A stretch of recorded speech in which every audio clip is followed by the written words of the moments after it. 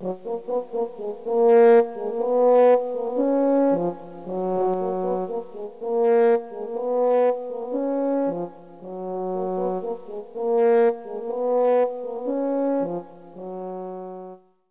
dawno temu przez ziemię, gdzie gród zwany Pszczewem się mieścił, przechodził święty Wojciech.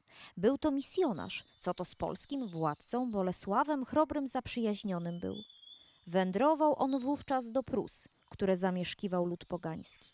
Wojciech pragnął ze sił wszystkich nawrócić tamtejszych mieszkańców na wiarę chrześcijańską. Po długiej wędrówce misjonarz marzył już o odpoczynku. Mijana okolica wydała mu się niezwykle urokliwa.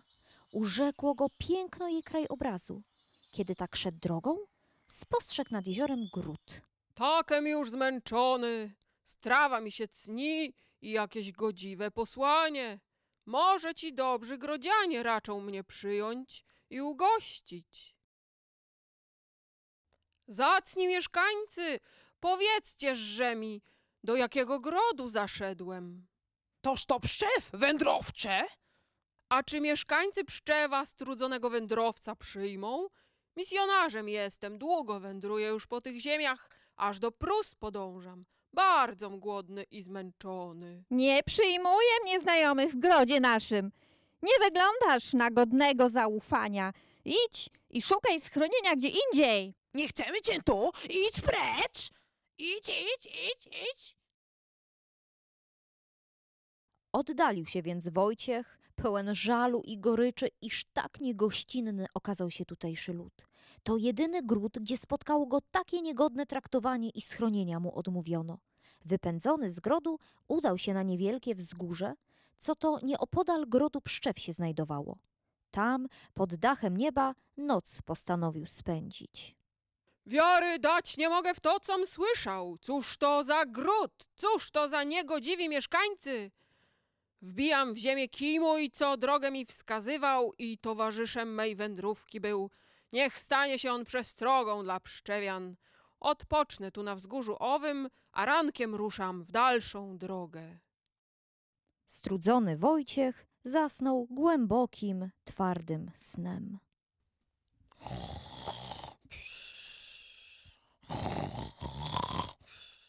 Kiedy dzień nowy nastał, a pierwsze promienie słońca ziemię ogrzewać zaczęły, Wojciech oczy swe otworzył i w dalszą wędrówkę do Prus dalekich wyruszył.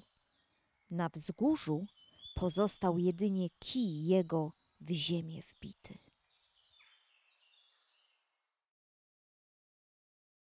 Stary, suchy kij, co go święty na przestrogę dla grodzian nieżyczliwych ostawił, korzenie wypuścił i w drzewo zmieniać się zaczął. I tak z biegiem lat rozrosło się ono w lipę potężnych rozmiarów, co ją miejscowi również świętą nazywać zaczęli. Jakoż w tamtych czasach wieści do grodu dotarły, iż nieznajomy wielkim misjonarzem był, co to z samymi cesarzami jadał. Dopieroż wówczas zrozumieli, jak niegodnie potraktowali wędrowca i jak złe było ich zachowanie. Pamiątkową lipę otoczyli odtąd staranną opieką i bardzo troskliwie ją pielęgnowali. A drzewo rosło i rosło, że aż ośmiu mężczyzn z trudem rękoma opasać ją mogło. Kiedy to wieści o tragicznej śmierci Wojciecha w Prusach do grodu doszły, pszczewianie kościół drewniany na wzgórzu obok lipy postawili i na znak pamięci ówczesnych wydarzeń za patrona imię tegoż świętego wybrali. Tam też parafia pierwsza początek swój miała. Lata mijały i świątynia potupadać zaczęła.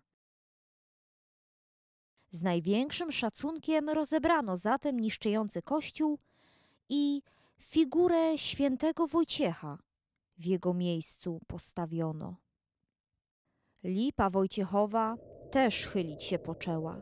Wiekowe jej konary nie wytrzymywały naporów silnych wichrów i burzy. Przerażeni mieszkańcy, pamiętając o przepowiedni, co to głosiła, iż śmierć drzewa świętego zgubę miastu przyniesie, lipę nową w miejsce starej posadzili. Stoi tam ona po dziś dzień jako pamiątka onych wydarzeń.